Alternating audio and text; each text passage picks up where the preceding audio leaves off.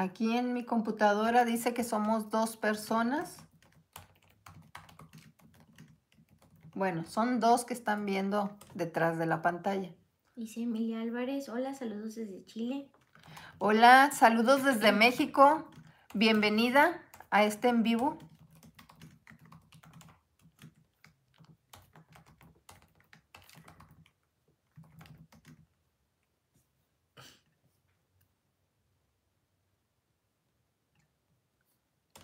¿Son las tres? Se produjo un error. Mm, aquí sale que estoy grabando. Hola, buenas tardes desde New York, de Glenda. Saludos hasta New York. Oigan, aquí me sale que hay un error. ¿Pudieran decirme si me están viendo, por favor?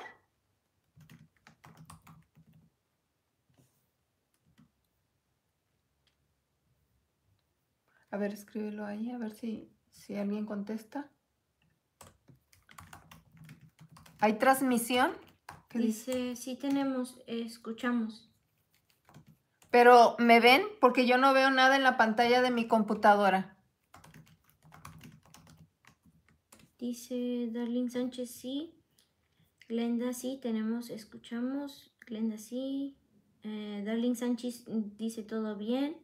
Emilia Álvarez, sí, se ven solo las manos. Santa Rosario dice, Dios bendiga tus manos y tu amor en el arte. Soy Santa Rosario desde Rochester, New York.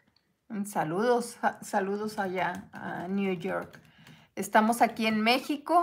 Pues qué bueno que me pueden ver. Yo aquí veo que sale un error y sale negra mi pantalla. Pero si me están viendo, bueno, eso es, eso es bueno. Creo que ya son las 3 de la tarde. Faltan 3 minutitos. María Isabel López dice, hola, buenas tardes. Por fin puedo estar en, en vivo. Si se ven sus manos, se escucha bien. Saluditos. Voy a reiniciar aquí. sí, es lo que te iba a decir. A Ya, lo mejor. ya refresqué la página. No, no se ve nada. Bueno, pues vamos, si ellas dicen que se ve, vamos a continuar. Es que, qué raro, ¿eh? Porque aquí yo veo negra la pantalla y me sale un letrero que dice que hay un error. Pero bueno, está bien si ustedes me están viendo, si me están escuchando, eso es lo importante. ¿Y si lo quitas todo? ¿Así? Sí, ahora entra. Bueno.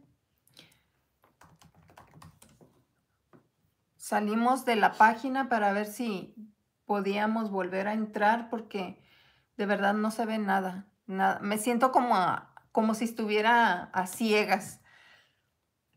Bueno, la vez pasada vimos lo que era el forrado de la esfera sin prolongación, sencillita. Espero que la hayan visto, por eso el tutorial que lanzamos la semana, eh, esta semana que pasó, Mm, A ver, permítame. Es en el, es en el otro, en mi canal. Ponle aquí, aquí. Es que estamos acomodando aquí lo, la transmisión. Y le pico. Sí. Ah, ok. ¿Ya? Sí, dice Darlene Sánchez, saludos desde Nicaragua. Santa Rosario dice muy bien, se ven las manos y te oigo claramente. Ah, creo que ya lo había leído. Saludos hasta Nicaragua. Qué bendición, qué, qué gusto me da que estén de varias partes de, del mundo. Me da mucho, mucho gusto.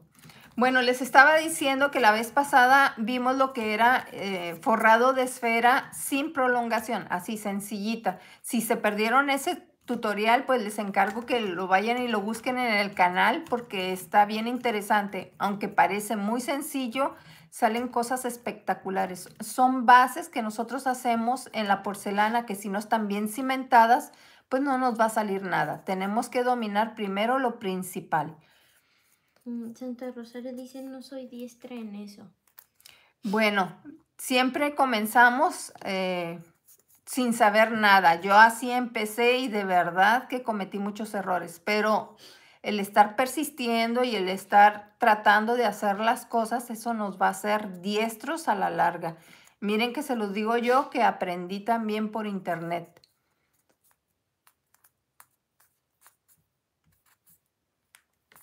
Bueno, miren, vamos a comenzar. Creo que ya son las tres. Sí, ya son las tres en punto. ¿Cuántos saben? Nueve. Ok. Vamos a empezar con una pelotita grandecita de unicel. Miren, ahora traje poquita porcelana porque nada más vamos a forrar una pelotita. María Isabel López dice saludos cordiales desde Durango, México. Saludos hasta Durango. Acá estamos en Baja California. Miren, voy a utilizar esta porcelana, esta cantidad. Esta pelotita es un número 6. Y voy a utilizar una pelotita de porcelana. Voy a tratar de hacerla un poquito prolija. Y si no está muy prolija, no se preocupen. Esta porcelana, esta pelotita de porcelana, miren, miren la, el tamaño más o menos es una pelotita como del número 5, o sea, un número menos que la que tengo acá. Pero quiero decirles que la prolongación en una esfera va a depender del trabajo que tú vayas a hacer. Tal vez vayas a hacer, tal vez vayas a hacer algún, algún trabajo en un mono cachetón o un viejito o algo, entonces hay veces que se tiene que agarrar un poquito más de porcelana cuando estamos eh, haciendo ese tipo de, muñecos o de figuras o a lo mejor algún animalito, no, no tengo en mente ahorita, pero la cantidad de porcelana depende de lo que te vas a modelar tú en el futuro o esperar a las indicaciones. Si estás viendo un modelado y estás aprendiendo, espera las indicaciones del que te está enseñando ese modelado para que sepas cuánto vas a utilizar de porcelana para el forrado de tu esfera. ¿Tienen alguna pregunta? Ok, miren, tengo aquí la pelotita y la voy a poner aquí, en el hueco de mi mano. Y voy a meter esta pelotita de unicel. ¿Puedes ponerle aquí en play? Berito Miranda dice, hola, buenas tardes. Buenas tardes. No, mm. definitivamente no podemos entrar. Está bien, bien difícil. Lo tenemos en negro. No importa. Miren, aplané lo que es la porcelana, metí lo que es mi bolita de unicel en lo que es la porcelana fría pero no voy a aplanar más porque la prolongación la quiero dejar de este lado y voy a subir poco hacia arriba. Supongamos que vamos a hacer una cabecita, entonces necesitamos subir poco y que el frunce quede acá arriba, donde va a ser el cráneo. Miren, puedo subir con las palmas de mis manos para que esto no se marque mucho ya depende del tamaño de lo que es la esferita de unicel. Voy a cerrar, voy a unir todo esto y miren, queda bien horrible. Esto tú le vas a ir dando forma. Esto no es mágico, tú lo vas, tú le vas dando forma a lo que tú quieres hacer. Esto de aquí donde pusimos el frunce, lo vamos a estar alisando. Si es un muñeco que no tiene pelo, esto lo tienes que dejar bien lisito. Ahí te vas a quedar un ratito tratando de alisar todo. No estés poniendo mucho los dedos así porque miren cómo se marcan todos estos dedos. Y si esto va a ser una carita, se va a ver horrible. Hay que tratar de prolijar todo el trabajo. Cuando lleva cabello, no se preocupen mucho por la parte de arriba. Preocúpense por la parte de acá de abajo. Miren, aquí se me hizo un frunce. Tampoco se, se preocupen así demasiado porque vamos a, a empezar a prolijar. Miren, imaginemos que vamos a hacer una carita. Cuando ya está con la prolongación aquí, yo voy a hacer una carita y voy a hacer esto. La voy a achatar un poco. Al achatarla, mira cómo se le fueron todas las arrugas, todo lo que tenía.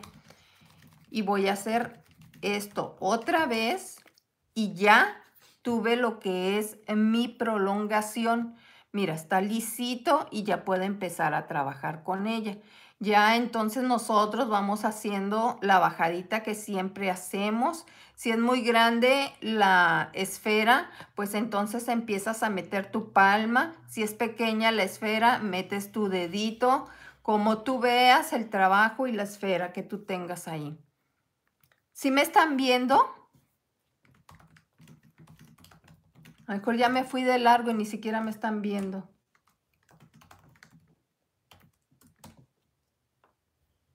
Hay ocho personas mirando. Sí, se ve muy bien. Ah. Miranda. Glenda dice sí. Ay, es que me siento como ciega, no veo nada acá. Tengo cancelada mi pantalla, no. Sí, se ve muy bien. no me da. Bueno, otro detalle que hay y que es importante, miren, yo tengo aquí la prolongación. Cuando son eh, bebitos o, o monitos chiquitos, casi siempre hacemos la prolongación, esta prolongación de aquí pequeñita. Y cuando nos sale mucha porcelana, esto tiene un montón de porcelana, un montón. Con esto podemos hacer un monito cachetón. Le seguimos dando a la, a la mesa y empezamos a hacer los cachetes extendidos para que salgan sus cachetotes acá. Pero cuando queremos que sea algo más pequeño y esto es demasiado, voy a agarrar una herramienta como esta y voy a cortar más o menos aquí. Miren, y me voy a ir a la vuelta y vuelta como si esto fuera un cuello. Miren, ¿no parece un cuello? Así es como podemos sacar también los cuellos de las cabecitas. Y miren cómo nos quedó perfectamente lo que es la prolongación. Como yo estoy explicándoles a ustedes y estoy moviendo mucho todo esto, estoy marcando acá. Si te pasa esto que yo estoy ha- haciendo ahorita, nada más velo alisando. Cada vez que tú veas que te está marcando tus dedos, alisa. Esto es de estar alisando, alisando, alisando. Y más si estás en una cabeza. Esto se debe de estar alisando completamente. Si el cuerpecito ya tiene un cuellito, entonces quitamos nosotros el cuellito que sacamos, que en realidad es un exceso que no requeríamos. Y me queda de esta manera. ¿Ven cómo está ahora más pequeño? De esta manera salen más tiernos y más dulces los muñequitos. Y ya tú haces lo que son las hendiduras de los ojitos para empezar a trabajar la cabecita. ¿Tienen alguna duda, alguna pregunta?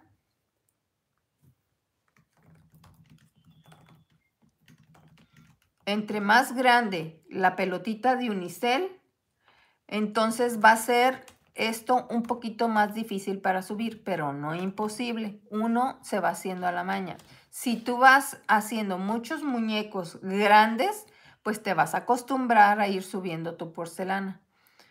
Y así es, esto va a ir fluyendo con la práctica. ¿Les, quedó alguna duda? ¿Quieren preguntar algo?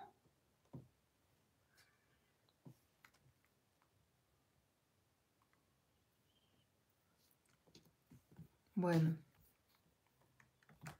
A veces siento que no estoy hablando con nadie. María Isabel dice, yo sí le entendí muy bien. Muchas gracias por compartir sus trabajos. Bueno, pues está bien pequeñito el tutorial, pero yo creo que es importante porque es parte de la base que nosotros vamos a estar realizando en nuestros proyectos. Les encargo que vean lo que es el tutorial anterior de esfera simple, no lleva prolongación. Y con ese proyecto, con esa técnica que hicimos de esfera simple, es que hicimos el proyecto del gusanito que pasamos en esta semana para compartirlo con ustedes, para que vean qué sencillo, pero qué bonito salen los trabajos aún con una técnica tan simple y tan sencilla. Berito Miranda dice, ¿cómo puede hacerle una boci- bocita? Creo que quiso decir boquita. ¿Cómo puedo hacerle una boquita? Bueno, no me traje Mi nada. naricita. No me traje nada de herramientas y las tengo allá arriba en, en mi cuarto, pero este, tú puedes, tú puedes hacer una boquita metiendo una, necesito mis herramientas, metiendo lo que es una, por ejemplo, esta es una vainilla, una herramienta, andaba buscando la palabra, una herramienta y luego eh, si yo tuviera el bolillo ahorita, le pondría dos, bolitas en esta parte de aquí. Realmente no tengo manera de, enseñarles porque no lo, no lo traje. Y levanto un poquito la parte de acá de arriba y con un bolillo o un pincel de goma, pues voy marcando lo que es la boquita se me hace tan difícil porque no tengo mis herramientas, pero bueno, miren, más o menos es una idea. Ya lo vas modelando tú con las herramientas. Yo no tengo nada, nada de herramientas ahorita y nomás estoy metiendo los dedos que ni me caben aquí. Por eso es importante a veces tener las herramientas porque a veces no te llegan los dedos ahí y no, la, no, no te sale. Pero también hay una manera muy fácil de poderlo hacer. Miren, vamos a, ver si lo puedo cerrar porque ya se me está secando la porcelana. Creo que lo mostré en un tutorial en la del changuito. Haces esto y pones una pelotita. Lo voy a exagerar, ¿eh? Para que lo puedan ver. La pongo aquí. Poner los lentes porque no veo. Y en medio de esto, abres aquí y pones la boquita. Y ya quedaron los labios y tú los vas agrandando o, achicando según como tú los quieras. Y pones el bolillo en las comisuras y los subes o los bajas de acuerdo a como quieres que esté la expresión.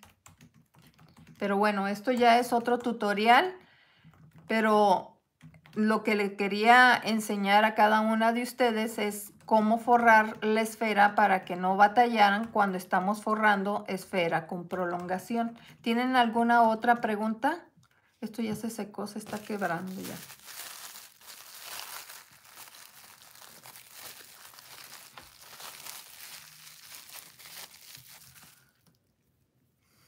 Bueno, pues si no tienen ninguna otra pregunta, de verdad que es un placer para mí el poder estar aquí con ustedes.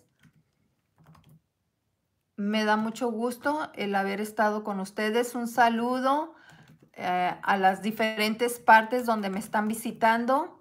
Qué gusto que estén aquí conmigo.